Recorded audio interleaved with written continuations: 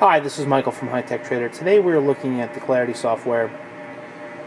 This is the control software that we're running a 5890 gas chromatography unit manufactured by Hewlett Packard. The 5890 series 1 and 2 were the most popular GCs ever made. Um, they can be found throughout chemistry laboratories. One of the most critical problems with the GCs are that um, newer operating systems have uh, driven the cost of ChemStation higher and higher.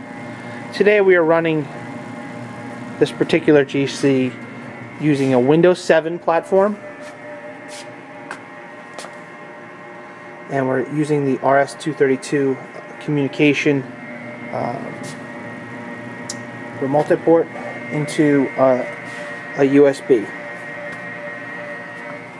So laptop, desktop, Windows 7, Windows 8, does not matter. You can see that uh, we're running a scan currently, detecting the temperatures.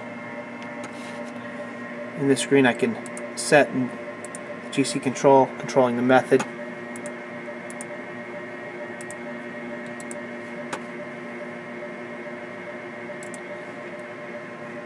This is the analysis screen where it's looking at peak peak areas that I've previously done.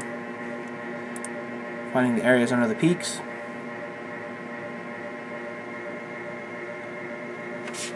If you have any further questions on the Clarity software, please don't hesitate to call 609 518 9100.